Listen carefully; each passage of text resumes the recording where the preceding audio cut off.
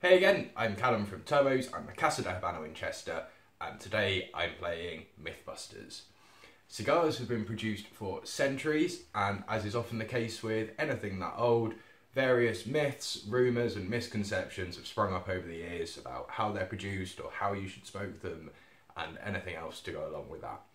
So today I'm looking at my top five uh, myths and misconceptions about cigars, starting with number five. Okay, so this one's going first just because it is somewhat open for debate, so I will leave you to make up your own mind at the end of this. But it all comes down to choosing your cigar. Most people would agree that you need to use three of your five senses when you're selecting a cigar, as I'm going to demonstrate with this recent released Cohiba Talisman.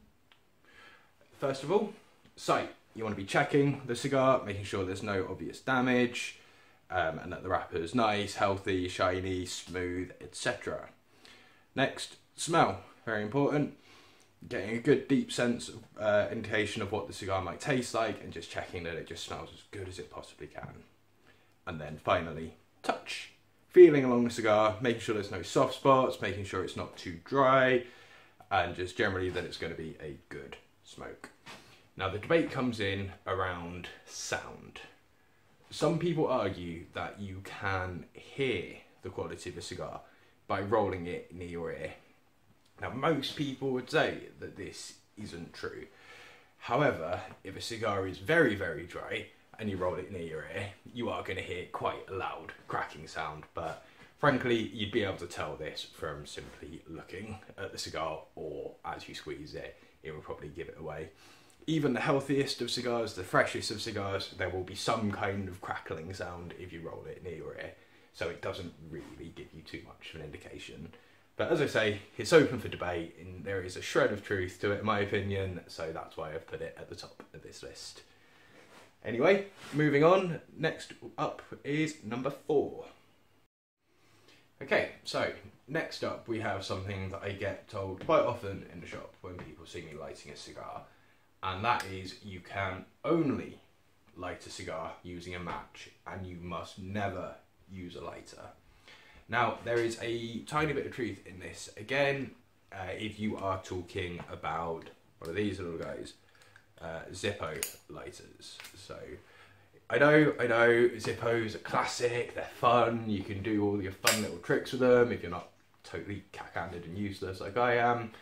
But unfortunately, they are fueled by petrol, and this is what really can ruin the taste of a good cigar. But that's all it really applies to. So if you have something like this, this is a Xikar Illume, and if you look at the flame there, we have a blue uh, jet flame, which is fueled by butane, which is odourless, absolutely fine for a cigar, will not affect it at all. Uh, similarly, you don't have to go for a fancy lighter, you can go for something as simple as a Torjet, which normally sell for about a quid. And it's again good, strong jet flame. Um, I, I absolutely love these lighters. Any, if you've ever read my blog, you'll know I have a bit of a thing for these. They're basically invincible. They're really, really cheap and they're really, really good for cigars. So bear that in mind. And even the humble mini clipper with a soft butane fueled flame is absolutely fine for a cigar and you can find them at most newsagents and they're absolutely fine.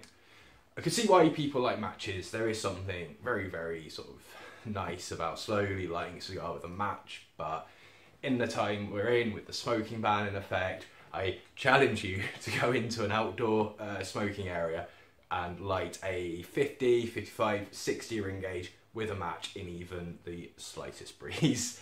Uh, you will not have a good time. So jet flame lighters, really good way to go and they will not ruin your cigar at all. Anyway, Next. Okay, next up we have a misconception that is probably a bit more common among uh, non-cigar smokers, and that is that uh, any good cigar is going to cost you a lot of money. In some cases, it is true, of course, it's easy to spend 50, 60, even over 100 pounds on a single if you're getting something that's particularly rare or collectible or unusual. But there are things at the other end of the scale where you can get a really good, proper handmade cigar for under a tenner and in some cases even under a fiver. Uh, so I've got a few of my favourites here. Um, also, time of filming is uh, November 2017, so obviously prices might change uh, if you're watching this further beyond that. But at the time of filming, this is a H. Upmann Majestic. Again, one of my personal favourites. You, you may have seen me ranting about them before. £9.58 for a true handmade long filler Havana. Light, creamy, beautiful, easy flavours, and a proper anytime cigar. Um, very, very approachable for novices. If you don't mind spending a bit more, we have these that are $11.99. It's a Flor d'Oliva Churchill, so we're talking about an hour to an hour and a half of smoking for just over a tenner at the moment. Or going the other way, just to prove that there are cigars for under a fiver out there, this is a Regius Media Corona and it is £4.89 at the moment for and perfect for just a quick light smoke and again like the Upmann suitable for any time of day. So there you go. You don't have to spend ridiculous amounts of money um, you can get most of these for less than a trip to the cinema and personally I know what I'd rather be doing so yeah we'll move on to the next this next entry is one that's really quite close to my heart as it's something I hear surprisingly often and it genuinely upsets me whenever I do and that is the idea that cigars are exclusively a male pastime. Uh, I honestly can't tell you enough how many times I've had a lady come up to me in the shop and say, I absolutely love cigars, but I'm not really meant to smoke them, am I? To which I say, rubbish. Sure, historically, cigars might have been something that the men sat down and did while the women were off busy washing up or having a baby. But it's 2017 now. I think we've moved past that if you like cigars, you have a cigar. Um, I'm going to have to move on before I get too worked up about this, so let's go on to the next. The final entry for this list is something I get the feeling a lot of people watching this video will have heard before. Uh, but it's one of the most long enduring myths about Cuban cigars ever, so I had to include it. And that is that cigars are rolled not on a nice flat table, but on the thighs of ladies. Some people just say ladies, others do specify that the ladies have to be virgins, but either way, it's a pretty strange rumour. Uh, beliefs of the origins of it uh, go back to when people were seeing around cigar factories for the first time and they'd see the ladies sorting the tobacco leaves into the various shapes, sizes, strengths, etc. They did this off stacks of tobacco leaves on their lap, and gravity would sort of naturally make the leaves wrap around their legs people saw this and then for some reason in their brains connected the dots to say the ladies were actually using the, their thighs to roll the cigars, which if you think about it, it is very, very impractical compared to a table.